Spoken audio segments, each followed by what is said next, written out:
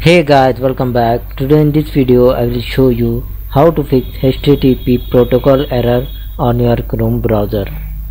So first method guys refresh your web page. Simply you refresh your web page. Hopefully after this after this it will fix your issue. And the second method hold the control shift and press the delete. Control shift and delete. Select the basic option select the time range check the content like this click on clear data. And once again hold the control shift and delete.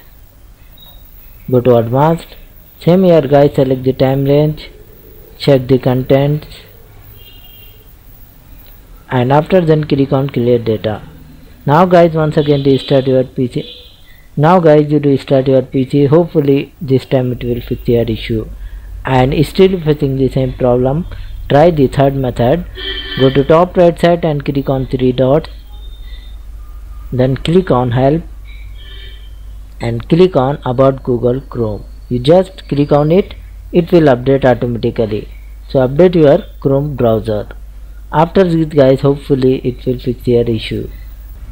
Thanks for watching this video. Please like, share and subscribe to my channel.